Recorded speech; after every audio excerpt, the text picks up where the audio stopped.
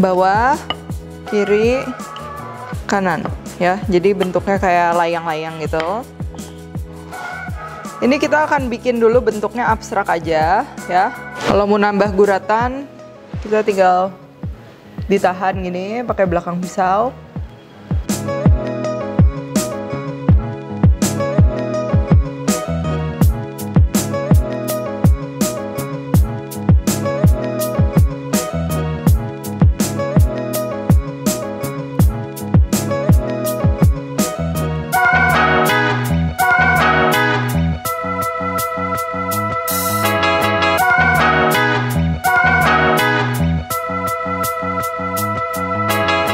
Hai guys, buku resep aku yang bertemakan Indonesian Fusion Food sudah tersedia di seluruh Gramedia dan toko buku Gunung Agung. Kalian juga bisa beli melalui Tokopedia, Shopee, dan Bukalapak dengan keyword Indonesian Fusion Foods. Yuk segera beli, jangan sampai kehabisan. Back to my channel, Devina Herwan. Hari ini kita akan bikin roti goreng ubi ya. Jadi ini cocok banget buat kalian para pemula karena kita nggak akan perlu oven. Dan kita nggak usah ngulainin sampai pegel. Dan juga shapingnya tuh nggak perlu mulus-mulus gitu nggak apa-apa karena kita mau bikin bentuk ubi jadi sebenarnya makin abstrak malah makin bagus gitu nah jadi roti seperti ini tuh sempat rame yaitu purple sweet potato bread ala Korea ya jadi emang ini Korean street food gitu cuma resep-resep yang beredar dia menggunakan tepung tapioka sama tepung beras kalau nggak salah. Nah tapi kalau menurutku itu nggak terlalu kayak roti karena dia pertama dia nggak mengembang terus dia kenyal jadi kayak mochi panggang gitu kan. Aku nggak bilang itu nggak enak tapi menurutku pribadi lebih appetizing kalau kita emang pakai adonan roti beneran. Kebayang ya donat kita goreng garing wangi fluffy dalamnya ada ubi dan juga meleleh. Nah gitu. Nih. Hmm. Oh. Kalian lihat ya luarnya roti dan dalamnya dia ubi wangi butter manis enak banget pokoknya dan satunya kita tentunya akan isi sama keju biar melted gitu oke langsung aja ini bahan-bahannya untuk adonannya jadi ini adonan simple bakpao ya. Oke, kita perlu tepung terigu, baking powder, susu, ragi, dan juga gula, sama minyak. Nah untuk isiannya, ubi itu macam-macam. Ada yang manis banget, ada yang manis aja. Jadi kalau misalnya let's say kalian pakai ubi cilembu yang udah matang itu kan dia udah manis banget. Jadi itu udah nggak usah tambah gula. Tapi kalau misalnya ubinya masih kurang manis, itu kalian bisa tambahin juga sama gula halus dan juga susu bubuk. Untuk isiannya ini isiannya bisa dibilang wajib ya, wajib kalian pakai salted butter yang wangi. Karena kalau misal kalian nggak pakai, nanti rasanya dia bland gitu loh, kayak cuman ubi doang. Dia jadi nggak ada ya kurang enak aja gitu. Dan opsional juga kalau kalian mau tambah keju ini bisa ya. Kejunya aku pakai mozzarella jadi dia bisa meleleh dengan mudah. Nah, ini buat lapisan luarnya kalian boleh pakai taro powder atau juga purple sweet potato powder. Nah, ini kan biasanya belum manis tuh.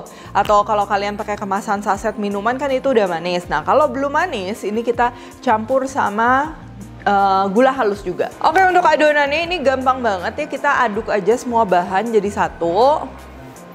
Terus ini kita perlu aduk aja sampai dia benar-benar menyatu.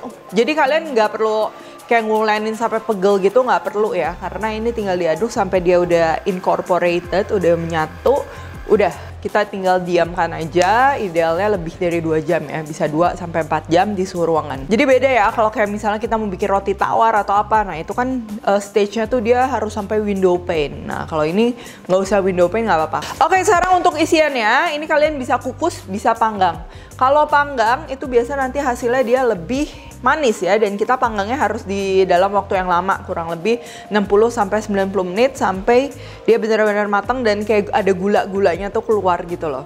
Kalau kukus juga sama, kalian kukus sampai dia benar-benar empuk. Oke, okay, sambil tunggu adonannya, sekarang kita ini siapkan isian ya. Nah ini ubinya udah aku panggang. Gak tau ya kalau misal dipanggang tuh dia kayaknya rasa manisnya tuh kayak lebih keluar gitu loh. Kayak ubi cilembu kalau kalian tahu. Jadi kalian bisa beli aja ubi cilembu yang udah siap makan. Kalau udah gini kita ancurin aja di mash gitu. Nggak sampai halus banget nggak apa-apa ya.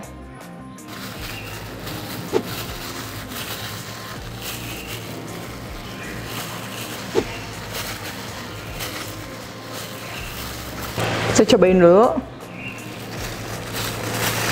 Hmm. Ini udah manis banget sih. Nah, kalau kalian kurang manis tadi yang seperti aku bilang jangan lupa tambahin gula halus ya. Kalau enggak nanti rasanya dia jadi malah tawar jadi nggak enak.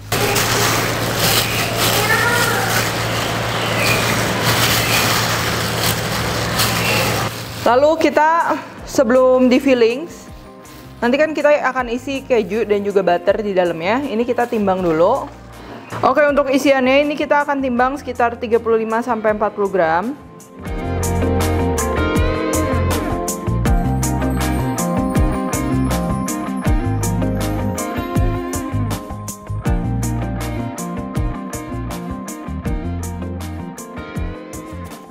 Nah ini penting, di sini aku pakai salted butter, itu nanti dia akan bikin gurih banget rasanya. Kan dia nambah asin gitu kan.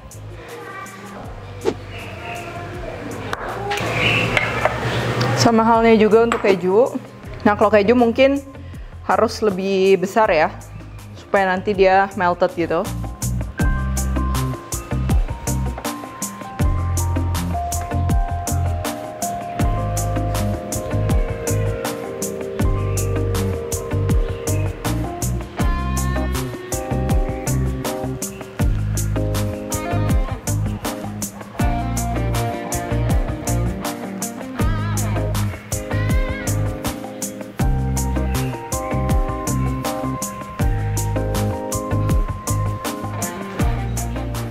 Ini kita bisa juga isinya butter doang. Ini juga bakalan enak dan juga wangi ya.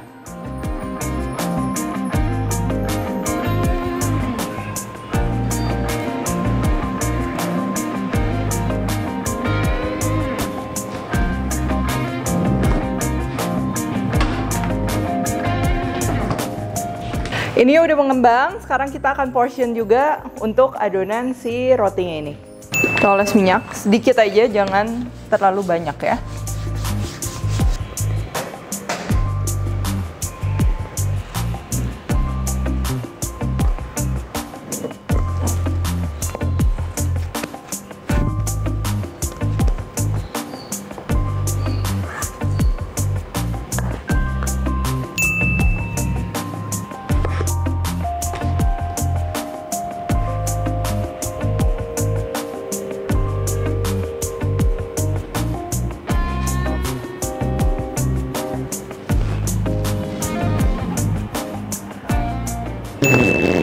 Jangan lupa dalam kondisi tertutup ya sambil kita ngebentukin rotinya supaya nggak kering. Oke, okay, sekarang kita uh, tinggal shaping ya. Nah, ini uh, udah diistirahatkan sebentar. Sebenarnya tujuan mengistirahatkan tuh kan kalau misalnya adonan tuh dia ada ikatan gluten kan, dia kenceng. Nah supaya kita bisa bentuknya dengan lebih mudah, dia perlu di relax dulu sebentar gitu. Makanya kalau kita bikin roti, setiap kita ngapa-ngapain adonan itu di resting lagi, resting lagi gitu. Tapi sebenarnya e, kalau untuk roti tipis kayak gini itu nanti nggak akan terlalu berpengaruh ke hasil akhir ya. Kan kita mau bikinnya tipis. Nah jadi caranya ini kalau talenan kalian atau working surface-nya lengket, ini kita oles sama sedikit minyak ya, jangan kebanyakan nanti malah jadi susah nempel. Terus kita siapin rolling pin dari tengah ke atas satu, ke bawah, kiri, kanan ya. Jadi bentuknya kayak layang-layang gitu. Terus kita taruh isian ubi yang udah kita prepare tadi sambil dibentuk sedikit kayak ubi. Terus kita kasih sedikit susu, sedikit banget ya. Tuh, ini tujuannya sebagai lem. Kalian bisa pakai susu, bisa pakai air supaya nanti ketika digoreng dia nggak merekah lagi. Nah, jadi kalau bagian yang menurutku paling susah dibikin roti ini, ya ini supaya dia nggak merekah gitu.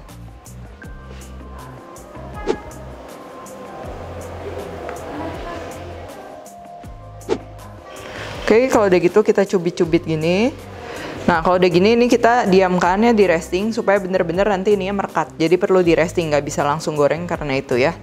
Kurang lebih sekitar 15-20 menit. Jadi ini kan kita sambil bikin semuanya nanti berarti adonan yang pertama udah bisa mulai kita goreng gitu.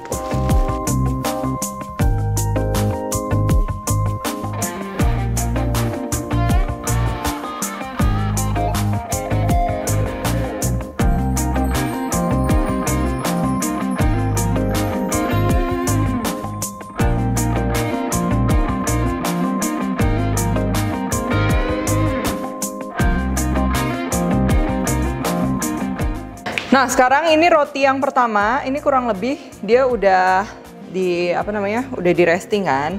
Jadi semestinya ini udah bener-bener nyatu. Kalau kalian mau lebih yakin ya diamin aja lebih lama, sekitar setengah jam gitu. Tuh, dia udah bener-bener menyatu. Nah, sekarang ini yang bagian serunya kita akan membentuk si roti ubi ini mirip ubi asli ya. Makanya tadi aku bilang uh, kalian gagal-gagal dikit rotinya nggak mulus itu yang bakal malah bikin nanti si rotinya makin kelihatan asli gitu kan. Kayak ubi asli maksudnya. Nah, ini kalian bisa di kalau aku sukanya ini aku shape aja asal tekan-tekan karena nanti ini yang namanya roti itu dia bakal ngembang lagi gitu dan bentuknya jadi bulat ya. Terus pinggir-pinggirnya ini dipancipin. Kita kasih beberapa kayak bolong gitu loh.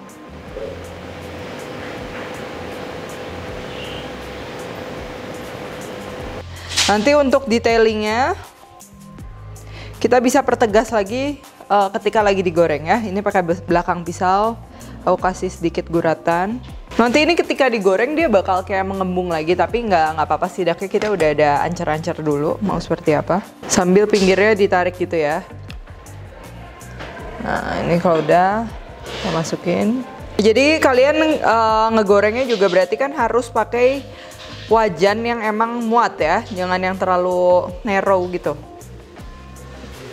Kalau mau nambah guratan, kita tinggal ditahan gini pakai belakang pisau.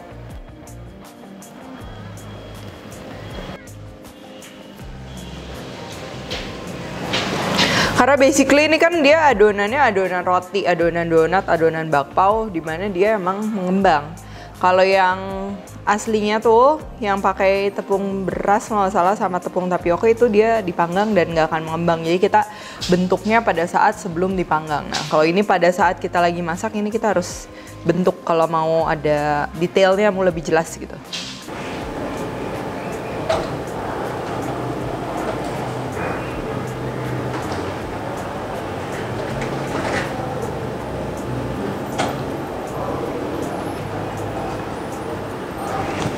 Ya, gorengnya ini di api kecil sedang gitu ya. Karena sebenarnya ini kan rotinya dia tipis banget, jadi matangnya tuh bakalan cepat. Cuman kita mau permukaannya yang kering, jadi nanti ketika digigit tuh krauk gitu, enak. Jadi digorengnya maksudnya nggak boleh terlalu sebentar juga. Nah ini kalau udah kecoklatan, boleh kita angkat.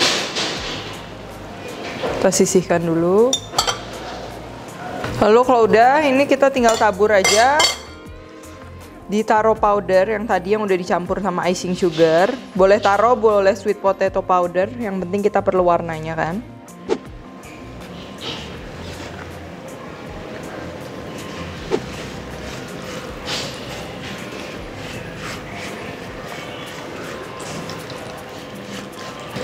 Tuh kalian lihat ya detailnya lucu banget. Ada bolong, ada guratan. Jadi emang sengaja dibikin abstrak gitu.